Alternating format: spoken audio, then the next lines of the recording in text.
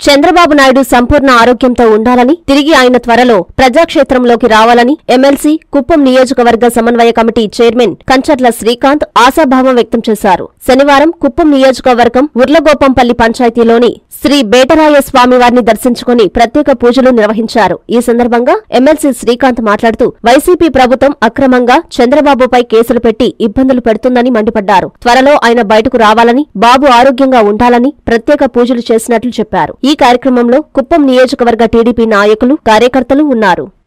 ఈరోజు కుప్పం రూరల్ మండలంలో మండలంలో ఉర్లగోపన్పల్లి పంచాయతీలో ఉన్న బేట్రాయ స్వామి గుడికి వచ్చి చంద్రబాబు నాయుడు గారి ఆరోగ్యం బాగుండాలని త్వరలో ఆయన అక్రమ కేసుల నుంచి బయటపడి ప్రజాక్షేత్రంలోకి రావాలని చెప్పనేసి అభిషేకం పూజ నిర్వహించడం జరిగింది.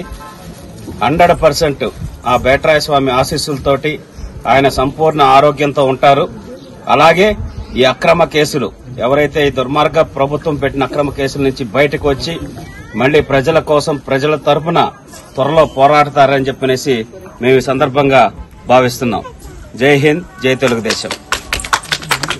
వైద్యుడిని దేవుడితో సమానంగా కొలిచే దేశం మనది. అలాంటి వైద్యులనే సృష్టించే విధాత నారాయణ. కేవలం నీట్ రెండు వేల ఇరవై రెండులోనే పదిహేను వందలకు పైగా డాక్టర్స్ని దేశానికందించిన ఘనత ఒక్క నారాయణదే. నీట్ అంటే నారాయణ నారాయణ అంటే డాక్టర్లను సృష్టించే విధాత.